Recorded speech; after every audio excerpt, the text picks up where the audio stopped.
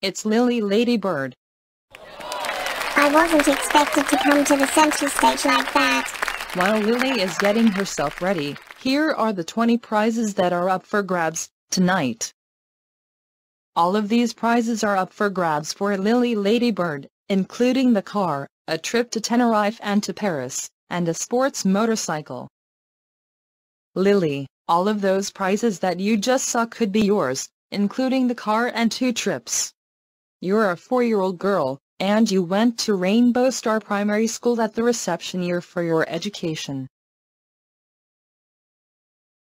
I'm glad that I'm not in one of those areas, but I'm really hot, sticky and thirsty.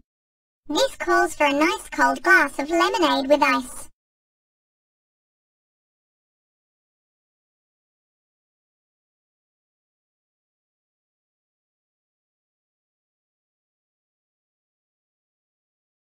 Always keep yourself hydrated by drinking plenty of fluids, especially during in this hot time of this year.